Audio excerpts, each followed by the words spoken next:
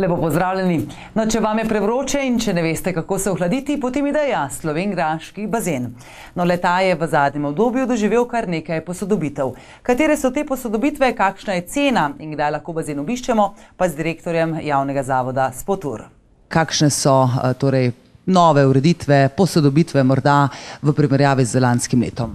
Ja, res, kopalno sezono smo tudi letos odprli, no, uh, upamo na malo boljše vreme, kot je bilo v lanski sezoni, ki nam nekako ni bilo naklonjeno.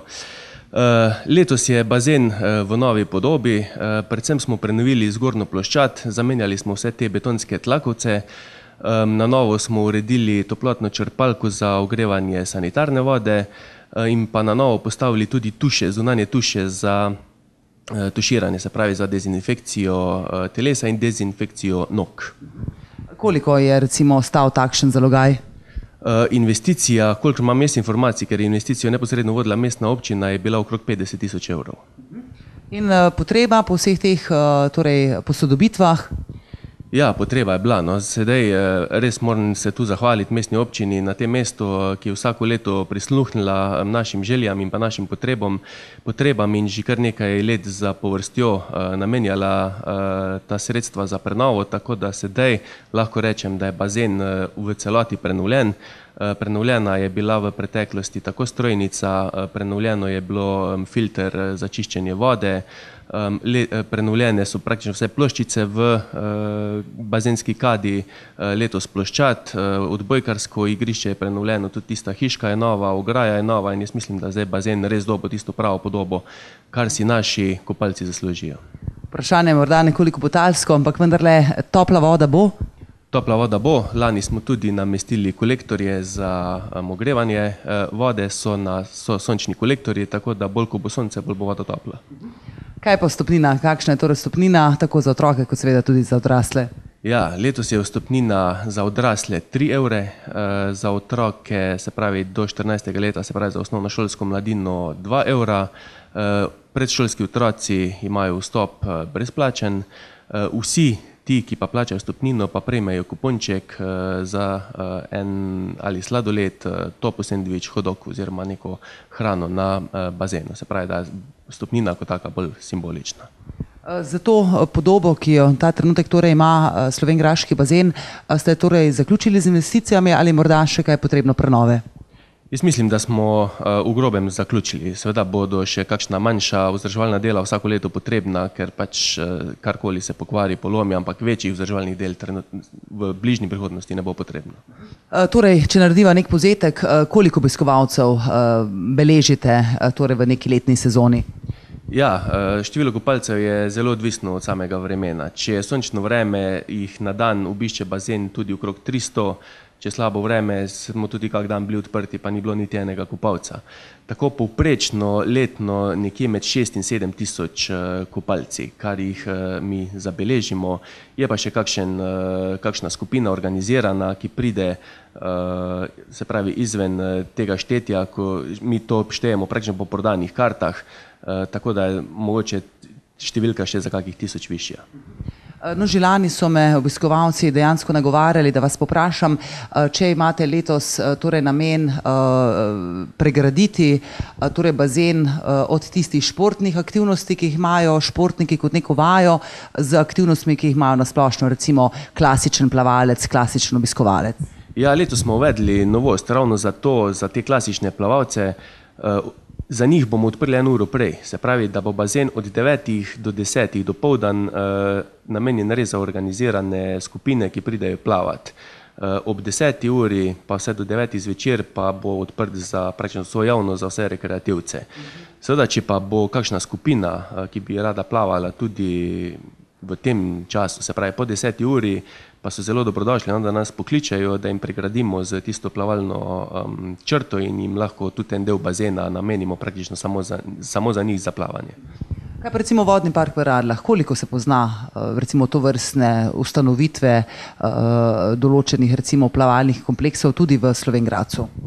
Moram reči, da plavalni park v Radlah bolj kot ne je v lanskem letu zaštartal. Lansko leto je bilo zelo slabo leto in v Radlah, kolikor smo govorili, in v Slovengracu, teda te ocene ne morem dati.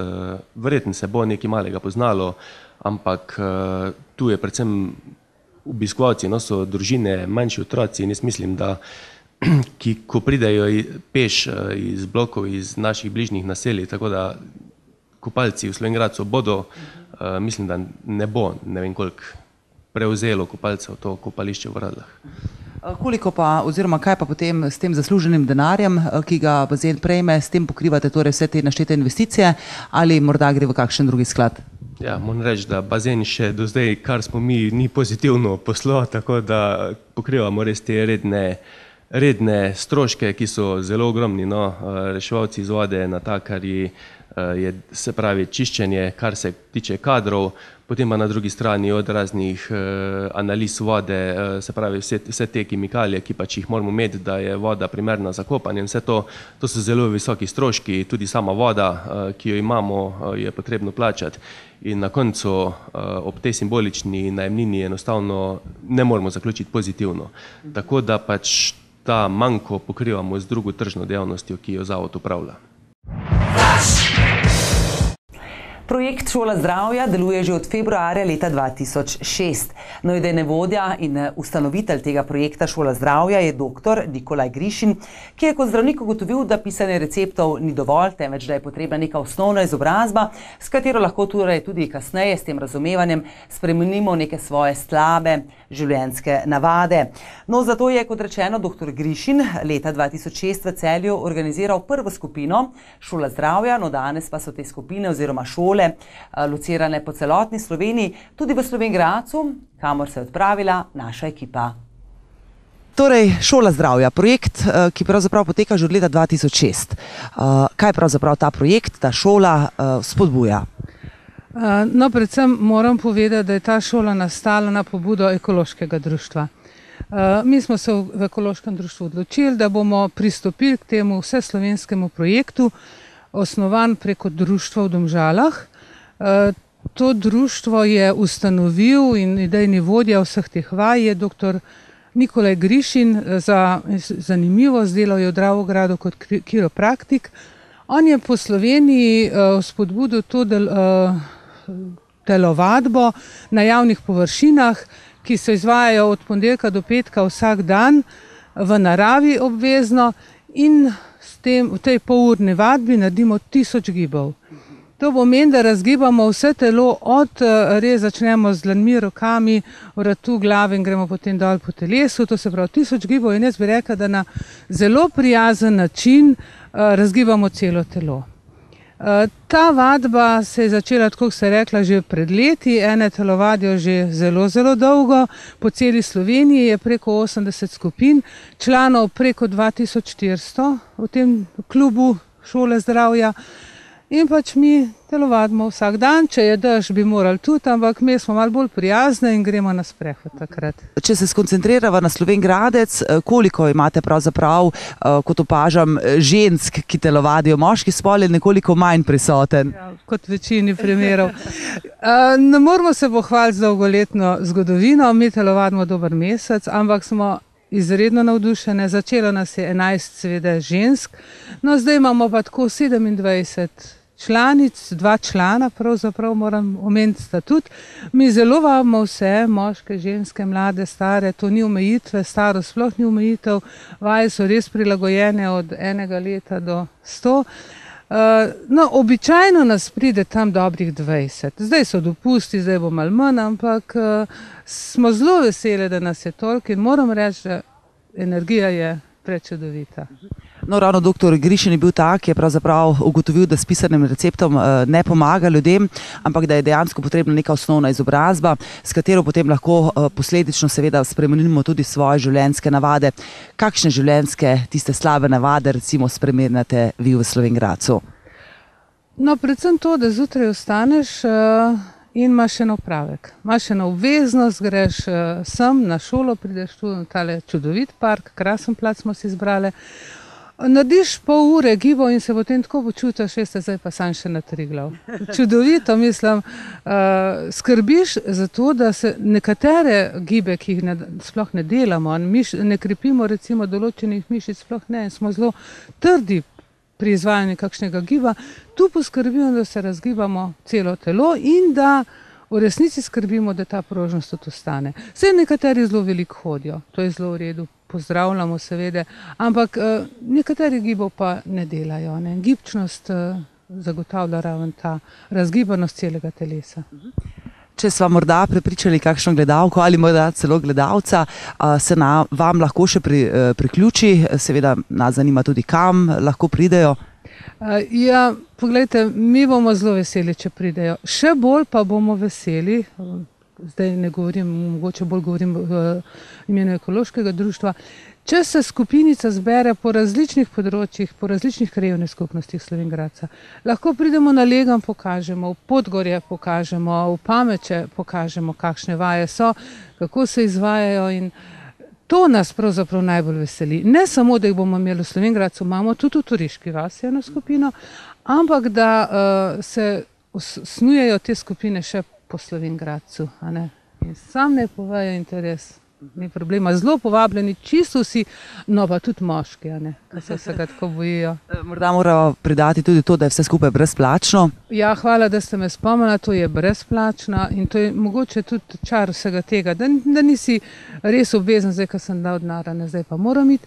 E, stvar je brezplačna, Pa še to bi pa vsem povedala, kdo pa želi čutiti pripadnost temu društvu, mu je tako všeč, se želi izobraževati, mogoče še na drugih področjih malo bolj družiti, se lahko pa včlani v klub šole zdravja v Domžalah je sedež, članarina je 20 evrov, ampak prinaša veliko ugodnosti. Ne samo, da lahko greš na seminar, ker ti doktor Grišin lahko marsikaj o naših telesih pove, ampak imaš tudi možnost iti uh, na druženja vseh teh skupin po Sloveniji, pa tudi mislim, da imaš neke ugodnosti pri počitnikovanju, ne, tako različne ugodnosti so.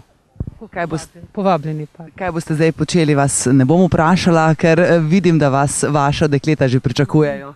Ja, zdaj bomo pač še imamo 20 minut, bomo otelovadili, potem se soncu zahvalili, čeprav ga danes ni, no, ampak eh, gremo pa na razen zelo dobre vole, moram reči. Policijsko-veteransko društvo Sever za Koroško se je s položitvijo cvetja ter prižiganjem sveč poklonilo spominu na umrla rezervna policista policijske postaje Sloven Gradec, Bojana Štumbergerja in Željka Ernojiča, ki sta 28. junija leta 1991 pri obrambi menjega prehoda Holmec padla pod sovražnimi streli jugoslovanske armade. No, sočasno so se poklonili tudi padlim pripadnikom teritorijalne obrambe Vincencu Repniku, ki je življenje daroval za domovino istega dne in sicer pri Dravogradu, ter ne nazadnje tudi inšpektorju policije Marjanu Dobelšku. Eh, kot vsako leto vas eh, smo tudi tokrat uvestili v današnjem datumu, da se poklonimo v spomin tu padlima Željku Ernojiču in Bojanu Štumbergerju. 28. junija 1991 sta dala svoje življenje pri obrambi menjega prehoda Holmec, tu na pragu eh, nove domovine države.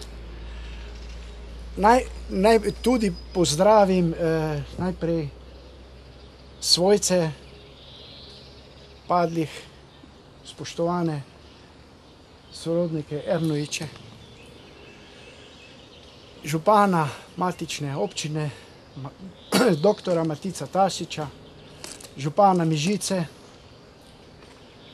komandirja policijske postaje Ravne, komandirja policijske postaje Radlje, spoštovani veterani vojne za Slovenijo, preproščaki, udeleženci tu prisotni, ki ste takrat 91. leta pri obrambi mejnega prehoda, tu na Holmecu, bili prisotni pri tej borbi. Lepo je nas videti, da smo se tokrat zbrali v tolikšnem številu. In eh, mislim, da moramo kot tradicijo ohraniti tole naše spoštovano eh, komemorativno združenje, slovesnost, ki jo lahko tako imenujemo. Dosti govorjeno, dosti laži, dosti resnic. Vsi, ki smo takrat tu bili, smo kar malo pozneje dovolj duševno trpeli, ko so nas poskušali celo narediti za zločince. Mislim, da tisti, ki ste tu, zadevo dovolj dobro poznate, da v njej ni kaj govoriti. Mi smo pač takrat uh, poslušali to, kar so nam naročili, ostali smo tu, obranili smo prehod. In tistim, ki morda ne poznajo, to je bil prvi prehod, ki ni padel v roke eh, vojski JLA. Od nas naprej so potem padale karavle in tudi prihodi, so se nazaj osvajali. Morate vedeti, od primorske pa do naših sosedov gor, vse prehode je zavzela eh, armada JNA takrat, no pri nas so se zobe polomili, naprej je pa pol padalo kot domine vsem, ki so takrat tu bili zavestno ustrajali, slava jim, tisti, ki so pa častno ostali tukaj, njim se pa danes poklonimo in zato je prav, tako kot je rekel prej moj predhodnik, ta običaj ne sme propast, mi se moramo tega zavedati, vsaj to enkrat na leto, da riskiramo tistih par urc, pa se tu malo spomnimo, kaj smo doživljali, kako smo obranili prehod in s tem vrata v domovino, tako kot je rekel. Spoštovani tisti, ki ste takrat pred 24 leti zastavili svoje življenje in sebe za to, da smo obranili edini prost prehod čez mejo, da tega menjega prehoda Slovenska narodna armija ni nikoli zauzela in da je bil to simbolični, tragični, vendar simbolični eh, znak takrat državi, novorejeni državi Sloveniji, da so ljudje pripravljeni, da smo pripravljeni zastaviti tudi svoje življenja za, za samostojno, svobodno, neodvisno državo Slovenijo. Takrat smo bili vsi polni in vi vsi tisti, ki ste bili tukaj in ki ste bili na drugih območjih, kjer so potrebovali vas na drugih področjih, ste bili polni entuzijazma, polni tega, kar pravzaprav smo želeli takrat od mlade države. Po 24 letih ste prenesli ogromno, ogromno slabe volje zaradi tega, ker so se izpostavljali dogodki, ki so bili čisti tukaj na Holmcu, kot nekaj, kar ne bi bilo narejeno v skladu z mednarodnimi normami. Veliko izmišljotin, veliko takih dogodkov, da ste bili vsi prizadeti. Zaradi tega, ne samo zaradi tega, ker je, bila, ker je bil obram, obranjen mejni prehod, ampak zaradi doprinosa in zaradi tega, kar ste potem doživeli, je potrebno spominsko obeležje in spominski dan ohranjati, zato da se govori o resnici in ne o izmišljenih stvarih. Pa zato, da bomo vsi skupaj pripomogli, da bo ta država boljša do vseh nas, da tisto, kar smo takrat želeli, tudi dosežemo. Padli so naši soborci, heroji osamosvojitve. Bojan Štumberger, Željko Ernojič, Vincent Repnik, ki so svoje življenja darovali na pragu nove, komaj rojene Republike Slovenije. Branili so simbole državnosti, zastavo slovensko, ki je bila izobešena na vseh državnih objektih in predvsem mejah, slovensko zastavo. Kruta usoda, sovražni streli so nam vzeli najboljše borce, heroje.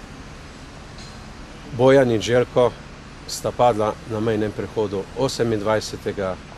junija 1991 in istega dne borec, pripadnik teritorijalne obrambe Vincent, Vincent Repnik in iz Slovengradca.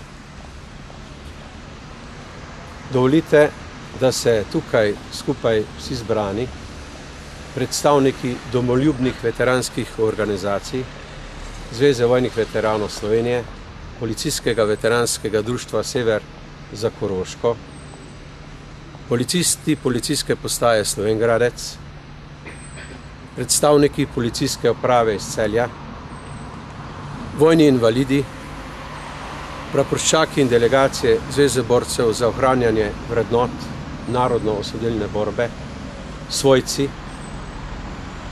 župan z delegacijo mestne občine Slovengradec, vsi, ki ste tu, krajani, poklonimo našim padlim herojem v časten in večen spomin z minuto miru.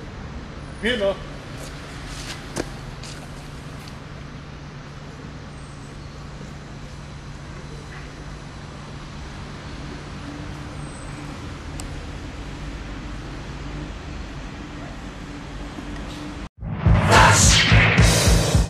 Ker se vrtec Slovengradec nahaja v neposrednji bližini kraja, kjer prebivajo škrati, jim misli dosti krat odtavajo tja.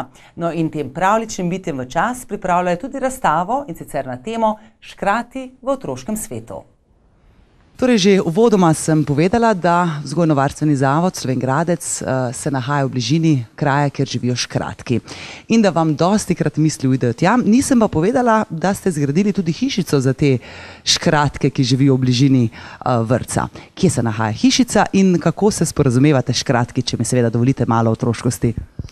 No, torej, kot veste, je vrtec Slovengradec veliko let prirejal prireditev škratki na Zagmajškem vrhu in v sklopu tega se je tudi porodila ideja za prireditev razstave škratki v otroškem svetu. In letos je že to 11. leto in na, tudi na tak način obeležimo eh, življenje škratkov, ker kot pravimo, eh, so škratki vse okrog eh, nas. Sodeluje celotna Slovenija oziroma kdo sodeluje pri tem projektu? Vsako leto prispe na naš natečaj res, bom rekla, ogromno risbic, številka se suče tudi okrog tisoč, letos okrog šeststo, iz domala vrtcev po celi Sloveniji. Letos je sodelovalo 32 vrtcev. Kako pa poteka natečaj? Vrtec Slovengradec eh, vsako leto v mesecu marcu razpiše ta likovni natečaj. Natečaj razpošlje vrtcem po celi Sloveniji in do konca aprila eh, potem eh, prispejo risbice na naš naslov. V mesecu maju se sestane komisija v sestavi profesorja Luka Popiča, profesorice Špele Kovač in še ene strokovne delovke iz vrca in potem izberejo vsa ta prekrasna dela. Vseh teh 110 risbic uh, si lahko ogledamo torej v knjižnici ali kako? Tako je. Vseh teh 110 risbic je sedaj tukaj na razstavi, kot sem omenila, med njimi pa deset, eh, po mnenju žirije, najlepših. Koliko je teh desetih eh, najlepših risbic eh, slovengraških avtorjev? No, bom rekla, da um, komisija težko odloči in uh, letos sta med njimi uh, dve risbici iz vrca Slovengradec, enota Šmartno in enota Podgorje. Na splošno, kako se otroci odzivajo na to vrstne akcije? Po številu risbic očitno dobro. Kakšen je pa odnos otrok recimo do škratov? Um, škratki, bom rekla, um, živijo v, v mislih teh otrok in tudi odraslih. No, uh, seveda te risbice kažejo ravno na to. Uh, škratki burijo duhove, bom rekla, tako otrokom kot Eh, odraslim. In eh, seveda vsa ta odlična dela eh, kažejo ravno na to, da jih mentori resnično znajo spodbujati pri, pri tem ustvarjalnem delu, ki ga potem izkažejo s temi krasnimi izdelki. Glede na to, da je ta uh, akcija, če, mi, če lahko tako rečem, poteka že 11 let zapovrstjo, ste verjetno opazili tudi nek napredek oziroma razliko med tisto prvo akcijo in letošnjo že 11. Uh, jaz moram priznati, da ta natečaj vodim uh, tretje leto, pred mano so to počele predhodnice in mogoče uh, zdaj težko odgovorim na to vprašanje, ne, ker uh, vsako leto je mogoče kaj eh, dodano, kaj novega, kaj drugačnega. Um, tako da je vsako leto zanimivo in pestro. Ampak brško ne pa je vsako leto tista ljubezen do škratov. Absolutno, tega pa upam, da tega navdiha otrokom nikoli ne zmanjka. Tako prispeli smo skoraj da do konca oddaje, sledi le še napoved dogodkov, seveda za mestno občino Slovengradec. Jutri, 3. julija, vas bosta ob 21. uri na Trgu Svobode razvajala svetovno priznani violinist Stefan Milenkovič in vsestranski slovenski koncertni harmonikar Marko Hatlak. No, repertoar pokriva predvsem strastno in temperamentno tango glasbo različnih svetovno priznanih avtorjev. Pevka Iva Stanič, ki je širši javnosti znana tudi po svojih nastopih na festivalih, kot sta recimo Slovenska popevka ali Slovenski šanson, se tokrat posveča interpretaciji skladb in sicer iz 20. stoletja. 4. julija ob 21. uri vas bo torej pevka Iva Stanic skupaj z Gregor Vtičar Trijom zagotovo očarala, ki je drugje kot na Trgu Svobode. Še en prijazen vikend vam želim in doslednjič le še srečno.